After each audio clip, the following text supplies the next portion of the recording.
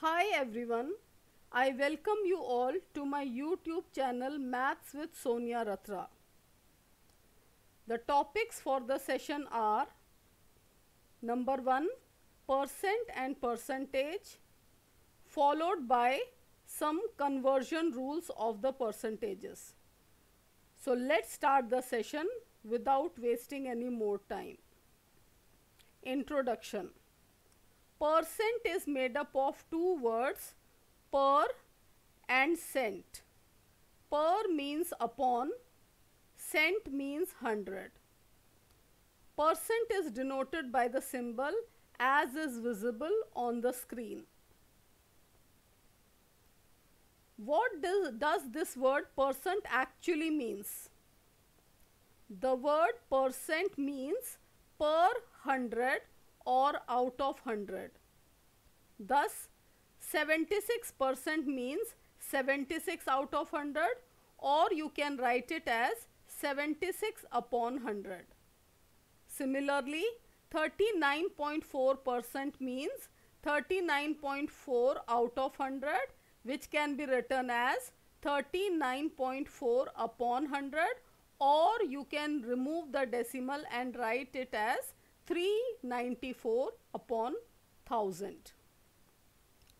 The symbol of percent actually stands for 1 hundredth which means 1 upon 100.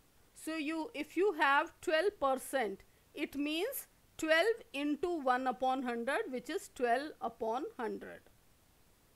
Percentage is the numerator of a fraction whose denominator is 100. For example, in the fraction r upon 100, percentages r and it is written as r with the symbol percent. Now let's see some conversion rules of percentages. Number 1. To convert a percentage into a fraction. The rule is write a number as the numerator and 100 as the denominator and then reduce this fraction to its simplest form. You can also express the fraction as a ratio. Children, you all know that a ratio is a fraction. So, if you want to give the answer in fraction, you can leave it as it is or you can convert the fraction into a ratio. Now let's see this example. We have 12%. So what we have to do is we have to write 12 in the numerator and 100 in the denominator and we have 12 upon 100 then we have to reduce it to the lowest possible form. The answer is 3 upon 25. If you want to write it as a ratio, you can write 3 is to 25. The next example is 39% which can be written as 39 upon 100 since it cannot be reduced to the lowest possible form this is our final answer. The second rule is the reverse of the first rule. In the first rule we converted a percent into a fraction. Now in this rule we are doing the reverse. We are converting a fraction into a percentage. In this we have to multiply the fraction by 100 and add along with that the symbol of percent. And children fraction is basically a ratio or you can say a ratio is a fraction. So whatever rule you are learning over here for this particular rule whatever we are explaining that rule is same for ratios also. For example, if you have 4 is to 5 it also means 4 upon 5 so that's why if a ratio is asked to convert into percent or a fraction is asked to convert into a percentage this is the rule you will follow. 4 upon 5 into 100 percent which gives you 80 percent. The next we have is 1 upon 8 or you can call it as 1 is to 8 and for the conversion what we will do 1 upon 8 into 100 percent which gives us 12.5 percent. Now we have the third rule it is to convert a percentage into a decimal. Let us see the rule. You have to first of all remove the percent sign and shift the decimal point in the number by two places to the left. Let's take an example. Suppose I am having 3%. We usually we do like this 3% we write as 3 upon 100 then we convert it into a decimal. So now you can ignore the middle step. When you see 3% you can straight away write it into a decimal and the method is first of all in 3% you remove the percent sign. Now you are having just 3. Now you have to move towards left. Since nothing is there on the left side of 3, we can introduce as many zeros as we need. And from 3, we will jump 2 places to the left and place the decimal. So my answer is 0.03. So direct answer from 3% we can write 0.03. The second one is 1.7%. We can leave the middle step 1.7 upon 100. Straight away what we can do is in 1.7 we will remove the percent sign. Now I am having with me 1.7 only. Now this decimal will shift towards left. Again in front of um, towards the left we can write as many zeros as we need and the decimal jumps two places towards the left and my answer is 0.017. Rule number 4. Rule number 4 is the reverse of rule number 3. In rule number 3, we converted a percent into a decimal. Now what we are doing? We are converting a decimal into a percent. Let's see the rule uh, if you remember in rule 3 we were shifting towards left. So in this case we will shift the decimal point in the number by two places to the right and introduce the percent sign because we are converting it into a percentage. Now you may think why only two places? Children in percentage we discussed that there is a use of 100 and since 100 is having two zeros that's why we will jump two places to the left if we are converting a percent into a decimal and if we are doing the reverse we are um, converting a decimal into a percentage we will shift two places to the right. Let's see an example. Suppose I am having 0.25. Now the middle step 25 upon 100 is can be excluded. Now 0.25 can straight away be written as 25% because I have jumped two places towards right. So the decimal moves two places towards the right. I am left with 0.25. 0 is irrelevant. So my answer is 25%. Next we have 1.35. This is a decimal and to convert it into a percent I will again jump two places to right side and my answer becomes 135%.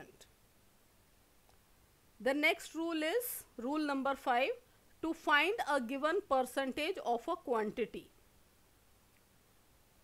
Now what you have to do in this? Write the percentage as a fraction. This is the first step you will do. 12% means 12 upon 100. So easily a percentage can be written in a fraction form. After doing this, you have to multiply that fraction with the quantity given. So the rule is write the percent as a fraction and multiply the quantity by this fraction. The rule is on your screen x percent of y means x upon 100 into y. x percent has been converted into a fraction x upon 100 and of y means into y. So, x percent of y means x upon 100 into y. Let us take an example. Suppose you have 36 percent of 400. So how you will solve it? You will write 36 upon 100 into 400. You can see on simplification both the zeros get cancelled and my answer is 144. One more example. Suppose you have 56% of 20 kg as a question. Now how to solve this? 56% will become 56 upon 100.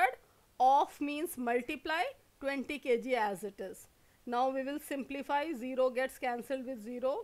2 5s are 10 and 56 upon 5 means 11.2 kg. Now rule number 6.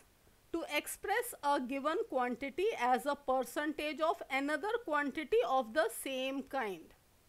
Let's see. Now the rule is divide the given quantity by the other quantity.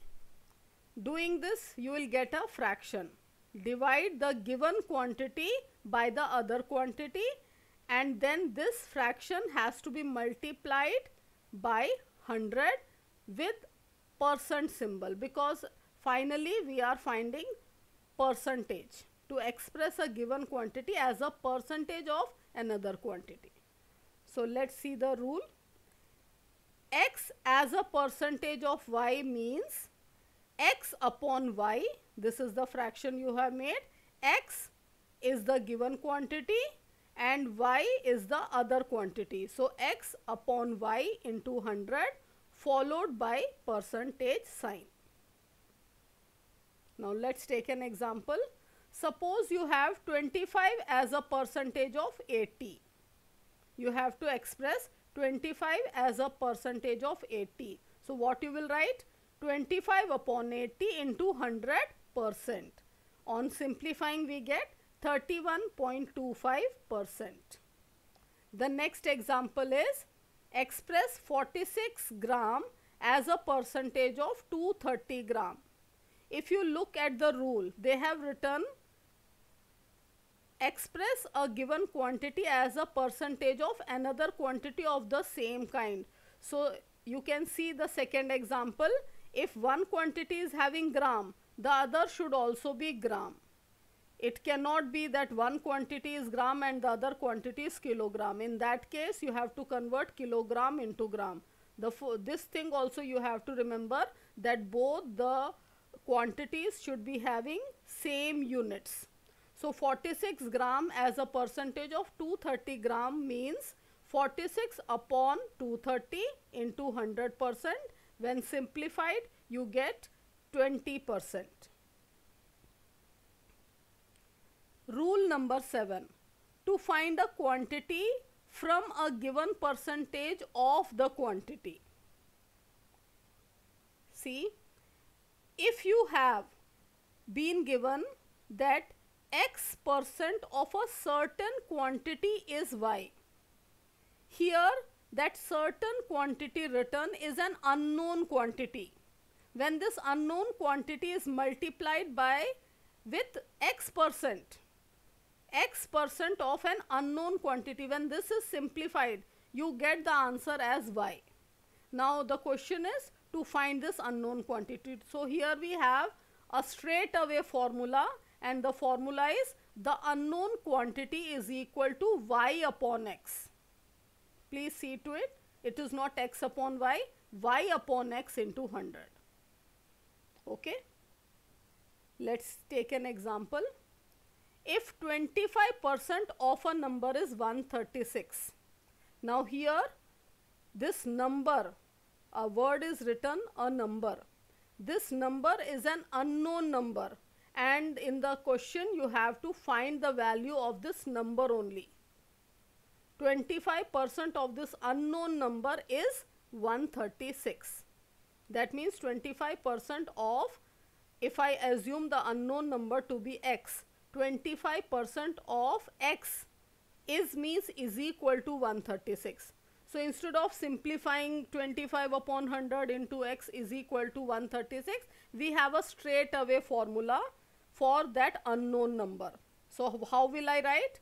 The unknown number is equal to 136 upon 25.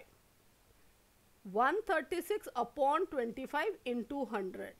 When this is simplified, we get the answer as 544. One more example. Suppose you are asked if 30% of a quantity is 405 gram, then find the quantity, unknown quantity. Now I have a straight away formula. The unknown quantity is equal to 405 upon 30 into 100. When it is simplified, my answer is 1350, 1350 gram and you know gram can be converted into kilogram because it is more than 1000. So we divided by 1000 and my answer is now 1.35 kilogram. Now we have rule number 8 to find the percentage change in a quantity. Children, this is a you can say most important part of percentage because in word problems you will be coming across this type of questions where rule 8 will be used. Now they have asked you to find percentage change. Change means there is some change in the topic being discussed. Suppose I assume that a pen today costs to me 10 rupees. So after a few days the same pen costs to me 12 rupees. That means there is a change in price. So the first thing you have to do is you have to find the change in the price. So of course from 12 we will subtract 10. 12 minus 10 will give me 2. So the change, the change is rupees 2. 2 will be my numerator and upon I will write the original price.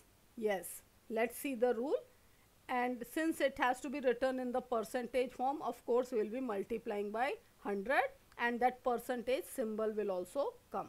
The rule says write the change in the quantity as the numerator and the denominator should be original quantity. In the example I just now quoted 10 is the original price because 12 was the price increased price so original price was 10.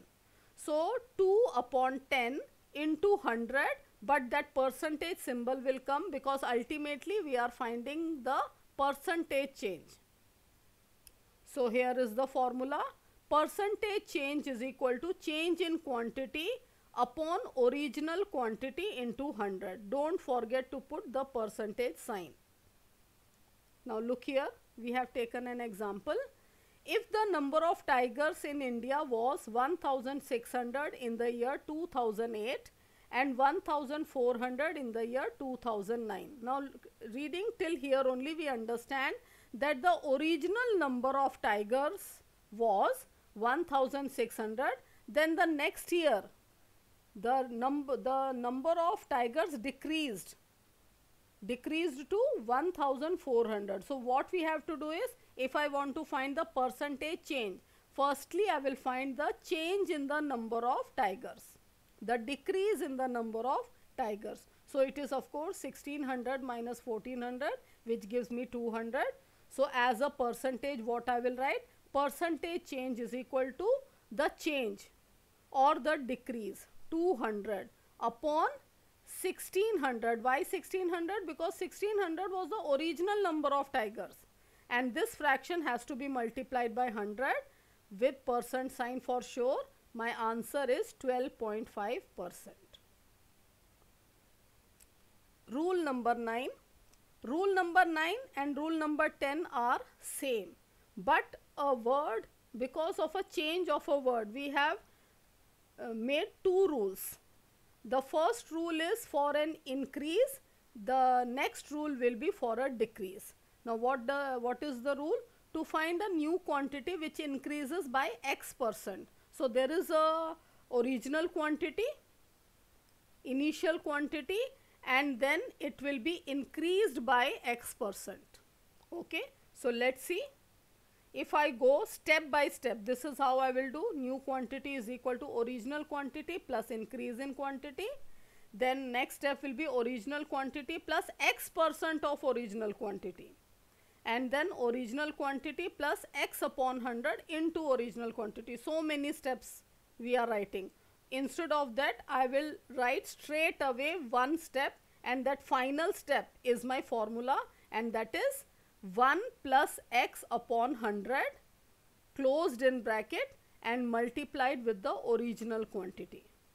If there is an increase then plus sign will come. See everywhere I have added because there is an increase. Increase means the value increases. So 1 plus x percent basically it is 1 plus x percent and x percent means x upon 100. So 1 plus x upon 100 this will be simplified that's why it has been closed in bracket. This answer the result that we will get after adding 1 with the x percent the, the result will be multiplied with the original quantity. Let's solve an example and see. Suppose you are asked to increase the number 60. So the original number is 60. You have to increase by 30%. So directly we will write the increased number. It will be 1 plus 30 upon 100 into 60. Are you getting my point now? So now this bracket will be solved. We will take the LCM 100 and simplify and after simplifying the fraction becomes 130 upon 100 and it will be multiplied with the original quantity and here in this example original quantity is 60. So after cancelling we are left with 13 into 6 and it is 78. Next example is just the reverse. Reverse in the sense the same topic is discussed but this time you have to find a new quantity which decreases by x percent. So here the most important point is there we were using plus sign here we will use minus sign that's the only difference same step new quantity is equal to original quantity minus decrease in the quantity step by step if we do original quantity minus x percent of original quantity and x percent means x upon 100 and uh, exclude all these steps. Don't write all these steps. Straight away learn this final step 1 minus x upon 100 into original quantity.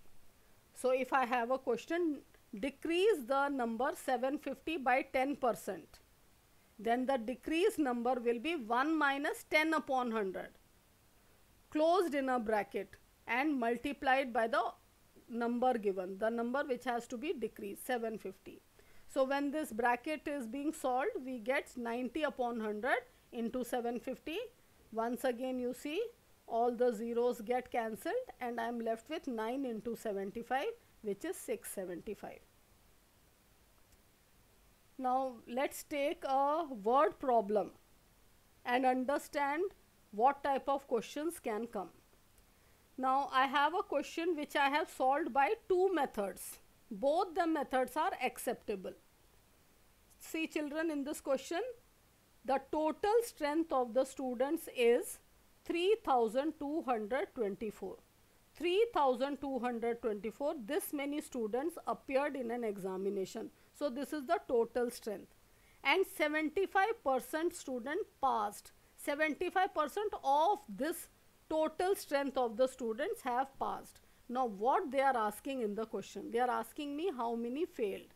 So one method is the first method is first of all you will find the number of students who passed. Of course it is 75% of the total strength. So 75% of 3224. Next step I will have 75 upon 100 into 3224 which gives me 2418. Now this is the number of students who have passed. Now what is in the question? How many failed? Now if these many students have passed, that means the remaining students have failed. So therefore, the number of students who failed will be 3224 minus 2418. Total strength minus the number of students passed will give you the number of students who have failed. This is one method. Second method, you, are, it, you can say alternate method is, see in the question they have asked us how many failed. So there is no need to find the number of students who have passed. So in that case what we have to do? see always a complete thing is always taken as 100%. We also say that we will uh, do this 100%, we will do this work or I always try to get 100% score in an examination. So 100% is total. Okay. So in an examination, the if uh, if we talk about uh, with respect to an examination, 100% is the total result. If out of that 75% have passed, what does this mean? The remaining have failed. So this is what we are going to do. If 75% have passed, then 100 minus 75 which is 25, 25% students have failed. Now I am having with me the percentage of the number of students who have failed. So if I multiply this 25% with the total strength, straight away I get the value of the number of students who have failed. This is also a method and a very good and quick method you can say. Now one more example, this is the last question, problem, word problem you can say. Rakesh gets a salary of rupees 40,000 per month. His salary increases by 8% every year. Now children, we have learnt a formula also that if a quantity is increased by x percent, what we have to do. So there we learned that 1 plus x upon 100 into the original quantity. That way also you can do 1 plus 8 upon 100 into 40,000 that is also correct. Otherwise you can do step by step. Now in this question uh, the first thing they are asking is the increase in his monthly salary after a year and the second part is after 2 years. So let's do the first part. The increase in the salary after a year is 8% of 40,000 just the increase. Okay? And when it is simplified 8 upon 100 into 40,000 I get 3200 so after a year if my present salary is 40,000 per month after one year what salary I will get? I will get 40,000 plus 3,200 and that is 43,200. Now I am switching over to the second part after 2 years. Now for the next year, this is my present salary 43,200. One more year, I have to find what will be my salary after 2 years. So after first year, my salary has become 43,200. Now I'll find 8% of this new salary because 40,000 was uh, earlier I used to get. Now my present salary is 43,200. So 8% of 43,200 will give me the next rise means the rise for the second year. And when it is simplified I get rupees 3456. Now this is the next increase and when this is added to my salary the increased salary 43,200 plus 3,456. Now my salary after 2 years, the monthly salary, his monthly salary after 2 years will be 46,656. In the first part they asked you just the increase. So my answer was 3200 and in the second part they are asking my salary. So my salary is the final answer 46,656. So this with this we come to the end of the explanation part. Let's summarize what we have learnt today. When I read all these points, you should recollect because whatever points I'll be writing now or discussing now or reading now, all those points we have already discussed. So let's see. The first is percent means per hundred or out of hundred and the symbol percent itself means 1 upon 100. Percentage is the numerator of a fraction whose denominator is 100. Suppose I have 12 upon 100 that means it is 12 percent. To convert a percent into fraction what you have to do? You have to replace the percentage sign with 1 by 100 and simplify. And to convert a fraction into a percent reverse of the previous one you have to multiply by 100 and put the percent sign. Now to convert a percent into a decimal, you have to remove the decimal sign and jump two places to the left. Is it okay? And the reverse now. To convert a decimal into percent, you have to move the decimal point two places to the right. And you can add zeros when and if you need as per the necessity. And yes, because you are converting into a percentage, so don't forget to put the percentage sign. Then we have x percent of a given quantity so, how it can be simplified? x percent means x upon 100, of means multiply into the given quantity. The next is to express x as a percentage of y. So, my final output percentage will be x upon y into 100 with the percentage sign. And if x percent of an unknown quantity is y, then that unknown quantity will be y upon x into 100. Now, I am uh, taking two points together because these two points are just having a difference of just one sign. See if a quantity increases by x percent, the new quantity is 1 plus x upon 100 of the original quantity and if a quantity decreases by x percent then the new quantity will be because there is a decrease 1 minus x upon 100 of the original quantity. And yes, the most important one percentage increase or decrease in a quantity, your answer will be change in quantity upon original quantity into 100 percent. With this, we come to the end of the session. Thank you children and God bless you. Please like and subscribe my YouTube channel and press the bell icon for latest updates.